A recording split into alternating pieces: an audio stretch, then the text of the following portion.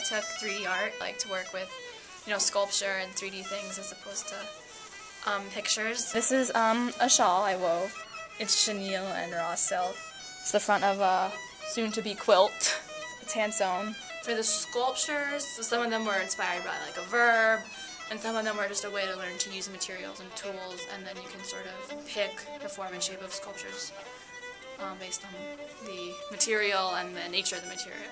This one was for an English project. It was the cover of Macbeth, and that was my cover.